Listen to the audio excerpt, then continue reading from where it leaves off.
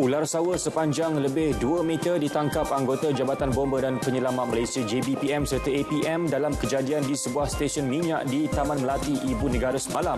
Reptilia berkenaan ditemui dalam satu pam petrol sebelum pekerja stesen minyak berkenaan menghubungi Balai Bomba dan Penyelamat Wang Semaju. Ketika kejadian tiada mana-mana mangsa yang terlibat.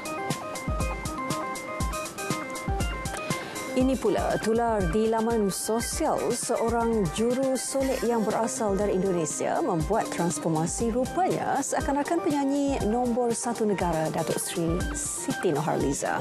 Wanita yang dikenali sebagai Laki Hakim memuat naik video tersebut di TikTok. Rata-rata warganet kagum dengan kreativiti wanita itu. Baru-baru ini tular sebuah video yang dimuat naik di Twitter yang dikenali sebagai Stranger Nobody apabila video tersebut memaparkan cara terbaru untuk menyiram pokok. Pokok-pokok yang ditanam itu telah diberikan air dengan menggunakan kaedah seperti di dalam video berkenaan.